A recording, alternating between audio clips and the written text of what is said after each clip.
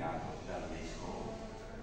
E poi c'è quella corrispondenza con il proconsole d'Asia Anulinus, in virtù della quale questo personaggio, che pochi anni prima era stato un persecutore dei cristiani, perché così voleva la politica della prima età sua, Anulinus diventa un eh, protettore delle chiese cristiane perché trasmette i denari a sostegno delle chiese. Tutti questi favori che cosa hanno comportato alla Chiesa? Ecco, se io fossi un giudice direi la mia, mi permetterei di farlo, ma siccome giudice non sono, né voglio esserlo, sono un modesto lettore di testi storici, vi dico soltanto che a volte i figli, quando noi li pizziamo, si può dire, li coccoliamo un po' troppo, c'è il rischio che devino un po' la loro sentire. Ecco perché alcune persone dicono che dopo Costantino la secolarizzazione della Chiesa ha portato a una sorta di decadenza dell'alta tensione morale che aveva caratterizzato i primi tre secoli. E per reazione a questa decadenza vescovi che diventano uomini di potere, fiorisce in questo IV secolo il fenomeno dell'ascesi monastica.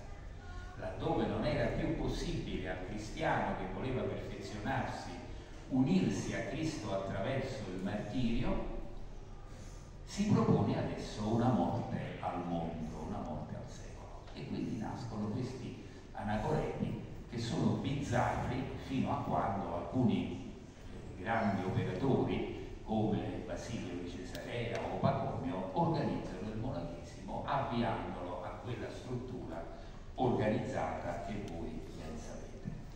Ma c'è anche un altro fenomeno che caratterizza il IV secolo in generale e il concilio di Nicea in particolare. Un fenomeno che possiamo racchiudere in una sola parola apparentemente difficile, ma che è facilissimo e questa parola è ellenizzazione. Il grande storico Adolf von Arnack eh, forne del titolo nobiliare che gli diedero se lo meritava tutto, in italiano diremmo barone, perché aveva creato la grande accademia di Prussia, pubblicando un'infinità di testi di cristianesimo antico e lui ebbe a riassumere la storia del cristianesimo antico nella formula di ellenizzazione della fede. Che cosa voleva dire von Arne? Voleva dire una parola, una, un concetto molto semplice.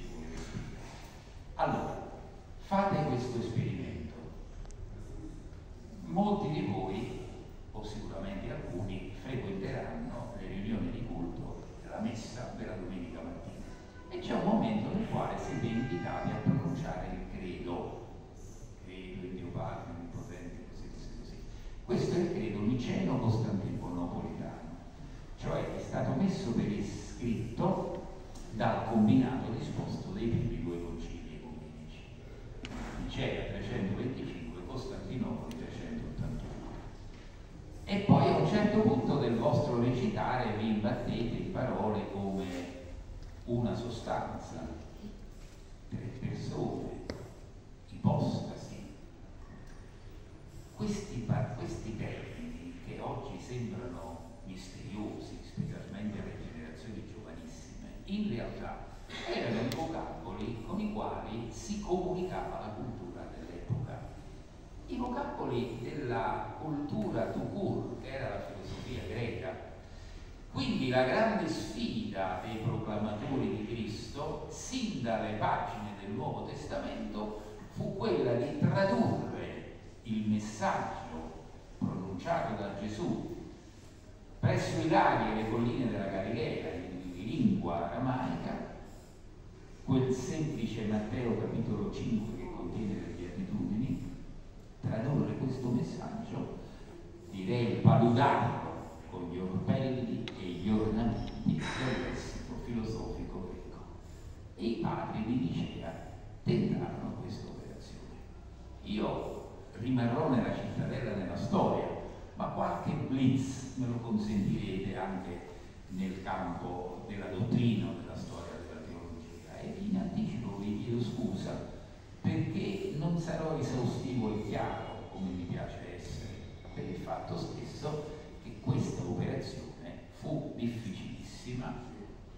e anche per il fatto che la Chiesa stessa che vi invita a pronunciare queste formule vi avverte con grande onestà che hanno il carattere del mistero.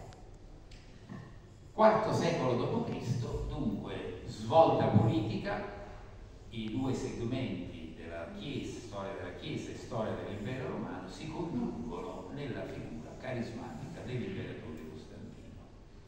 Quarto secolo d.C., trionfo della ellenizzazione del pensiero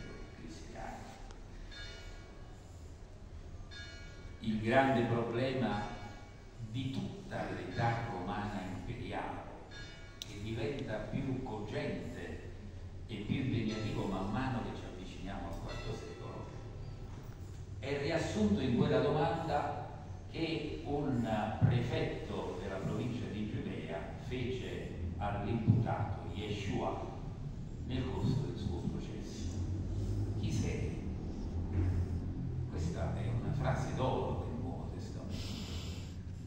Pilato ebbe l'umiltà di formulare questa domanda, ma quanti teologi oggi saprebbero rispondere in modo esaustivo?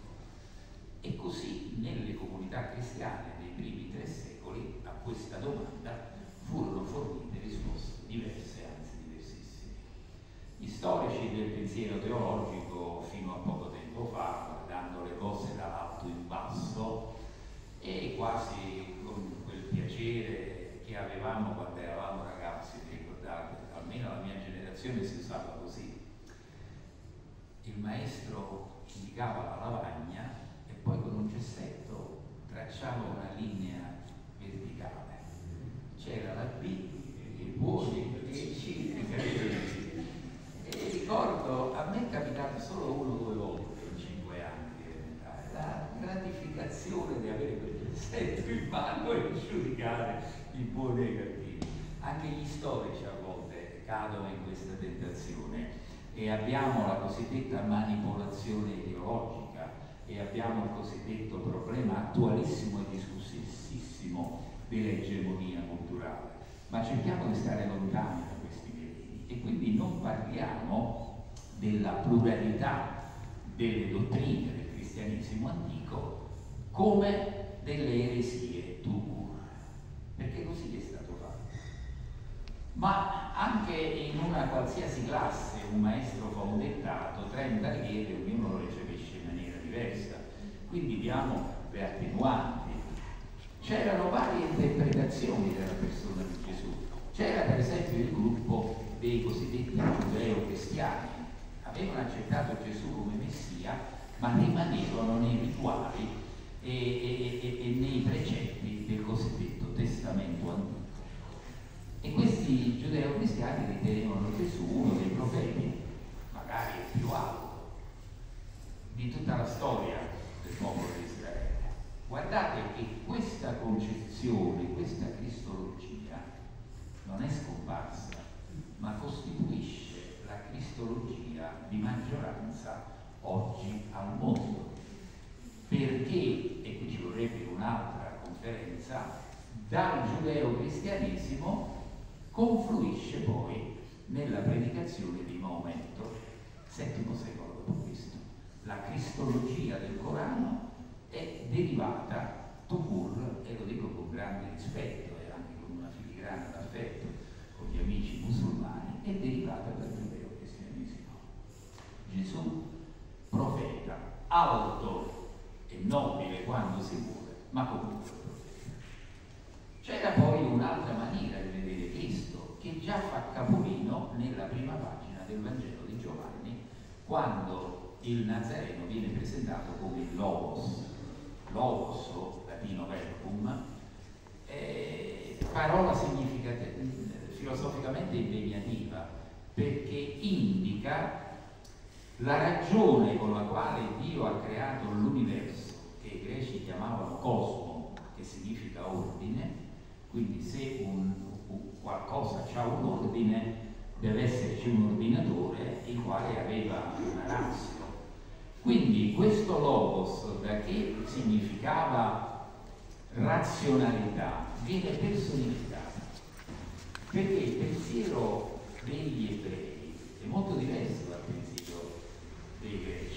I greci amavano definire pagine di filosofia. Il pensiero giudaico è molto più concreto. Gesù non ha parlato per dottrine astratte, ha parlato per e l'80% del tempo suo non ha trascorso a spiegare cos'è la metafisica, ha trascorso guarendo chi soffriva.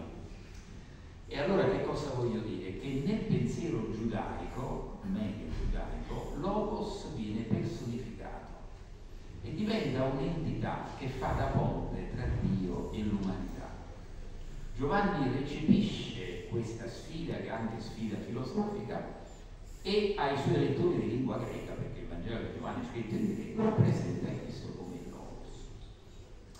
Un altro ramo delle cristianità antiche, fedele al monoteismo di matrice giudaica, presentava Gesù come un modo di Dio di presentarsi con l'umanità, un solo Dio che si manifesta in tre maniere diverse. Ma così arriviamo al modalismo i suoi avversari lo chiamavano, altra parola difficile, patripassianesimo, che voleva dire, se voi credete che Gesù è, è una maniera di manifestarsi di Dio, allora Dio ha sofferto sulla croce. E ci troviamo di fronte a un Busilis difficilmente, difficilmente risolvibile. Ora, Nell'iniziativa dell'imperatore Costantino confluisce anche una tensione politica. Perché si chiama ecumenico questo concilio? Oggi il termine ecumenico è molto usato e il dialogo tra le varie confessioni cristiane, adesso addirittura il dialogo tra le varie religioni. Però eh, filologicamente il termine ecumenico nei testi dell'epoca sta a indicare di competenza dell'imperatore perché l'imperatore romano aveva un dominio ecumenico, si diceva, cioè che spaziava su tutto il mondo. Erano un po' orgogliosi imperatori romani, ma noi lo comprendiamo per i politici, perché almeno si inorgoglivano di grandi realizzazioni. L'imperatore Claudio fece venire a Roma 27 acquedotti, non fontanelle adesso quando si guasta una fontanella a Roma bisogna aspettare le calende greche. L'imperatore Claudio costruì 27 acquedotti, un po' di orgoglio se lo meritava. Costantino, da imperatore dell'universo mondo, convoca il sinodo dei vescovi. Le riunioni dei vescovi prima di Costantino si chiamavano sinodi. Il termine sinodo viene dal greco odos, strada, siudi insieme, facciamo uno stare insieme per arrivare a un posto e per discutere di problemi dottrinali e organizzativi.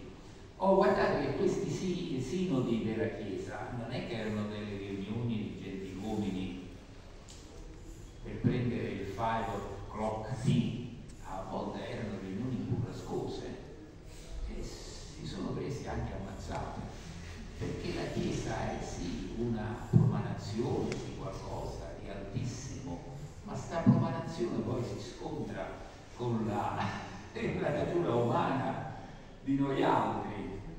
Quindi precedentemente ci sono stati vari sinodi. Costantino dice questo sinodo non lo convoca il vescovo, lo convoco io.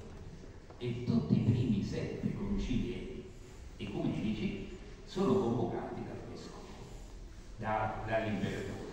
È vero che l'imperatore si presentò, non lo dico io, ma lo dice Eusebio di Cesarea, come Triscae Decastos Apostolos, il tredicesimo apostolo, e si presentò anche come episcopos tonectos, cioè come vescovo di coloro che sono al di fuori della Chiesa.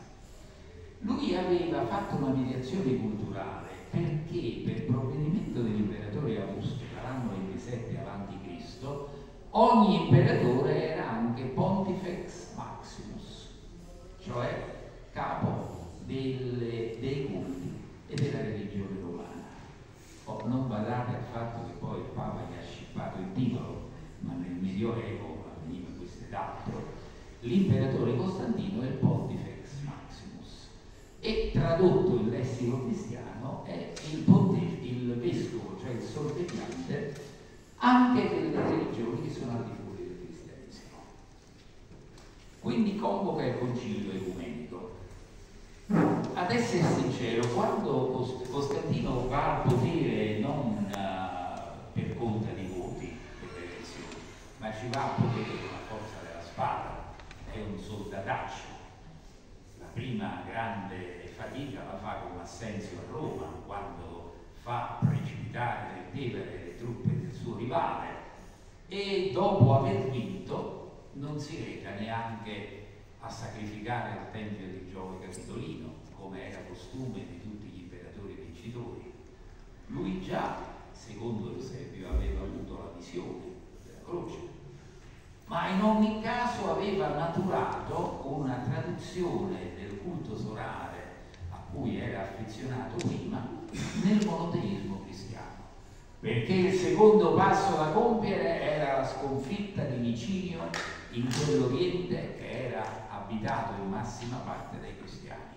Quindi bisognava procacciarsi il favore dei cristiani d'Oriente e Costantino diventa quindi fautore della Chiesa.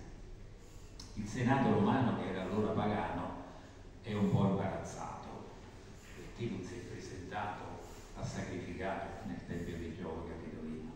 Le fortune di Roma non sono state sempre legate al culto degli olimpici, non sono state sempre loro, come diceva Orazio, i protettori dell'impero romano, a darci forza e vigore, e allora fecero incidere quella epistole che noi leggiamo sull'arco di Costantino a Roma, dove si dice che l'imperatore vinse, e in questa formula c'è tutto il dramma filosofico e teologico del IV secolo, Costantino vinse instinctu divinitatis, per ispirazione del divino.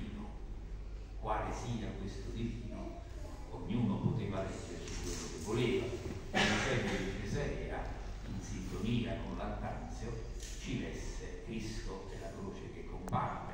I senatori di Roma, avvolti nei loro lapidlavi, nostalgici dei rituali antichi, ci avranno letto la triade capitolina, Giove, Giunone e Minerva, protettrice dell'impero romano, a cui fosse iniziati ai misteri di Mitra o di Cibele, ci avranno letto il nome della dramma religioso del IV secolo d.C.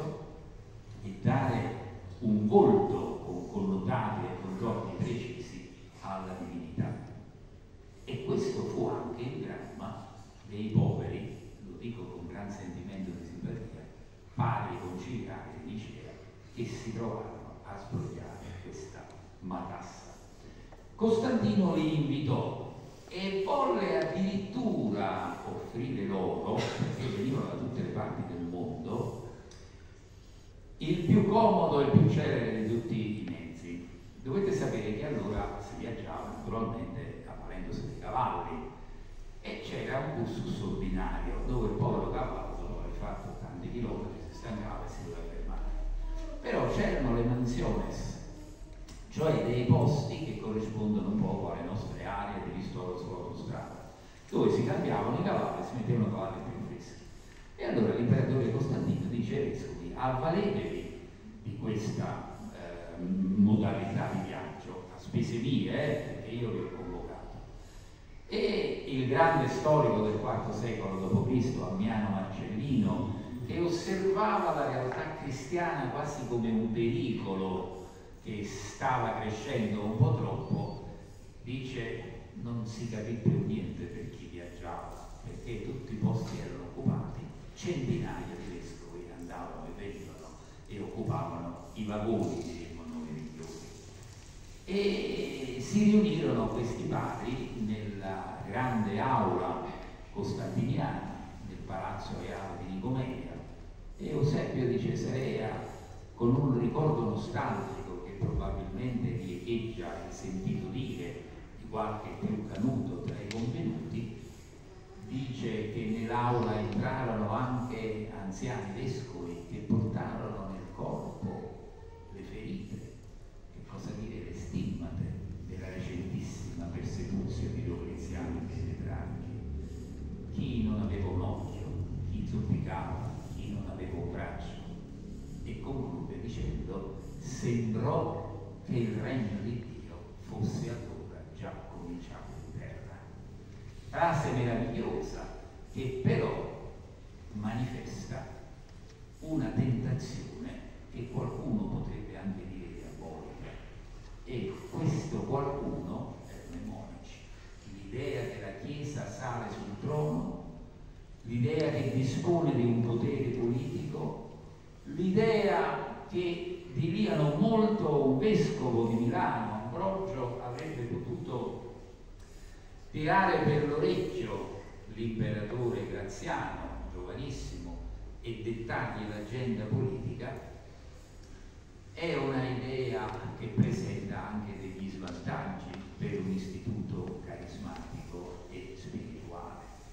Bisogna gestire bene l'agenda sociale delle chiese, che non deve, al mio modesto avviso, non essere mai agenda politica, ma agenda sociale. Scusate la parentesi, ma serve a far comprendere anche il dramma di quella Chiesa e degli equivoci della contemporaneità. C'è una differenza tra l'iniezione che somministra un medico e l'iniezione a un malato che somministra un missionario. È una differenza radicale. Magari la medicina è la stessa, magari l'iniezione monouso è la stessa. Il medico vede il paziente, il missionario vede Cristo sofferente in quel paziente. Non è più il volto che ti sta davanti, ma sono le fattezze del Christus Patiens a cui lui si rivolge. Ecco, per capire la secolarizzazione della Chiesa, noi dobbiamo immaginare un medico cristiano che non vede più il volto di Cristo nei sofferenti, ma svolge un lavoro politicamente corretto, quando ci va bene, spesso è politicamente conveniente. Chiusa questa parentesi, ritorniamo nel IV secolo d.C., anzi, facciamo un passo indietro, andiamo nel III secolo d.C. Prima vi dicevo che c'erano anche conflitti tra i mi scandalizzate perché le persone che si amano prima o poi devono avere degli screzi. Il più grande nemico dell'amore, anche dell'amore cristiano, è l'indifferenza. E quando un genitore dice mia figlia che ha 13 anni si è ritirata alle 4 di notte, ma io non dico niente perché sono un liberale, io lascio massima libertà. Amici cari, non gli credete è soltanto un pigrone che non vuole interrompere il sonno.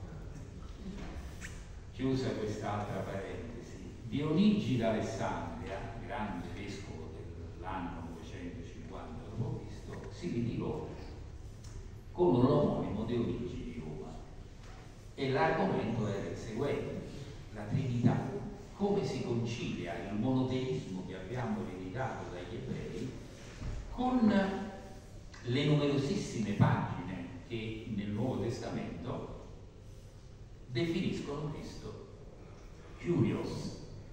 Curios significa Signore, ma questa parola non è quella che nella traduzione greca dell'Antico Testamento indicava Dio. Allora Cristo è Dio e Giovanni dice che eh,